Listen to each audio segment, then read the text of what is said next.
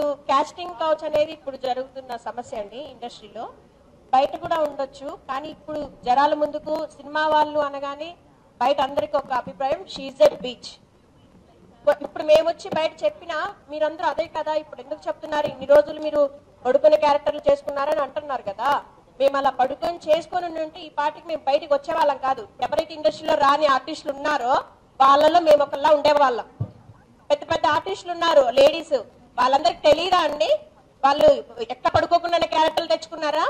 ఈ రోజు రమ్మనండి. కరెక్టే కళ్యాణి రానండి. సత్య చౌదరి రమ్మనండి. ఎవరు వస్తారో రమ్మనండి. మేము మాట్లాడతాము.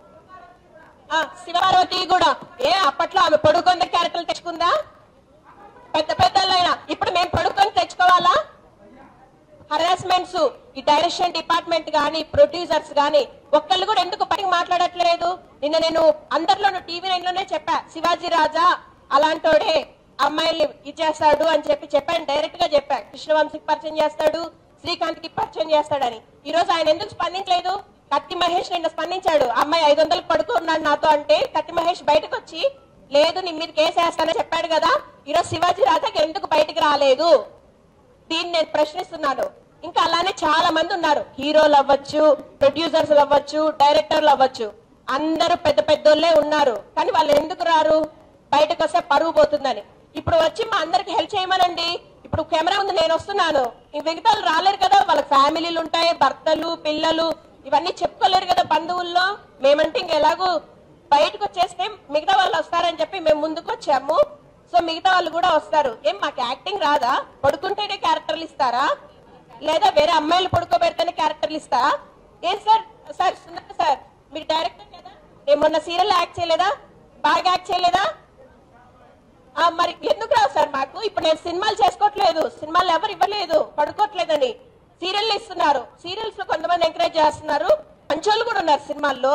వాళ్ళ వల్లే కనీసం మేము మాత్రం బట్టలు వేసుకుంటున్నాము రెడీ అవుతున్నాము.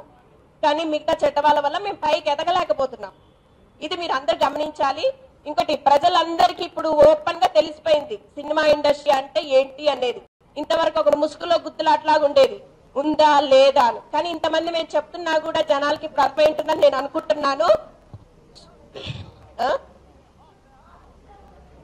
ఆ? బయట కూడా ఉన్నాయి కానీ మేము మా గురించి మేము పోరాడుతున్నాము. మిగతా మహిళలు కానీ స్టూడెంట్స్ కానీ ఎవరైనా రండి. రేపు కూడా ఇక్కడ లైవ్ డిబేట్ పెడతాము. ఉందనే వాళ్ళు ఉందనండి లేదనే వాళ్ళు లేదనండి. ప్రొడ్యూసర్స్ హీరోలు హీరోయిన్స్ ఎవరు వస్తారో రండి. Open debate. లేదని చెప్పండి లేదా మీ క్యారెక్టర్లు మీరు పనికిరారు. మీ పాయింట్ ఆఫ్ వ్యూలో మీరు ఏం చెప్పాలనుకుంటున్నారో చెప్పండి. మేము రెడీగా ఇక్కడే రేపు మధ్యాహ్నం అందరు ఇక్కడికి రండి. ఇది మా వాళ్ళందరికీ ఛాలెంజ్ ఎవరు వస్తారో రండి రేపు చూసుకుందాం. మీరు మేమా? అసలు అప్పట్లో రామానాయుడు సినిమాలు తీశాడు. ఎందుకు? సినిమా అంటే పిచ్చి ప్యాషన్ ఆస్తులు అమ్మి తీశాడు. కానీ ఇప్పుడు ఈ సురేష్ బాబు గాని బన్నీ అదేంటి అల్లు అరవింద్ గాని వీళ్ళు నలుగురు ఉన్నారు. పెద్దలు పెద్దలు అంటున్నారు కదా. అది అందరికీ తెలుసు. వాళ్ళు ఎందుకు చేస్తున్నారు సినిమాలు? వాళ్ళ ఆస్తులు అమ్ముకోకుండా వాళ్ళ ఆస్తుల్ని ఇంకా తరతరాలు వాళ్ళ ఇప్పుడు ఆ ఆస్తులు పది తరాలు తినొచ్చు. వాళ్ళ హీరోలే వాళ్ళ మనవల్లే వాళ్ళ కొడుకులే. ఒక్క మొహాన బాగుంటుందా హీరోలది. అందరు హీరోలే ఇప్పుడు. అందరు కోటి మొహాలే హీరోలు. ముప్పై సర్జరీలు చేస్తే గానీ అవి షేపులు రా వాళ్ళకు. ఒక్క హీరో హైట్ ఉంటాడా?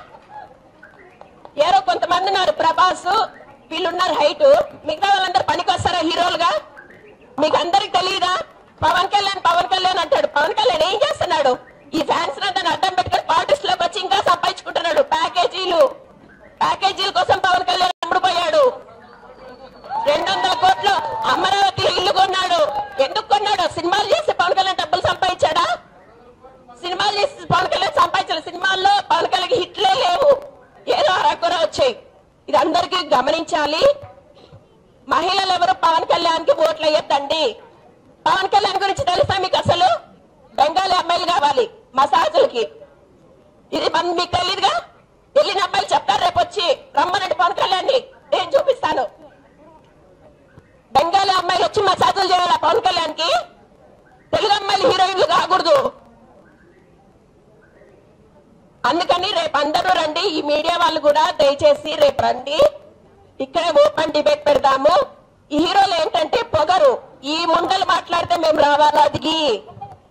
ఇది అనేది వాళ్ళ క్వశ్చన్. అంటే ఇప్పుడు పెద్ద పెద్ద వాళ్ళు వస్తే వాళ్ళకి జీవితాలు నాశనం అయిపోతాయి. మేము వచ్చాము ఎందుకంటే మేము ఆల్రెడీ మేము ఒక సమితకి పోరాటానికి మేము బలవుదామనే మేము దిగాం. ఏమని అనుకోండి రేపు అందరూ మాత్రం రండి.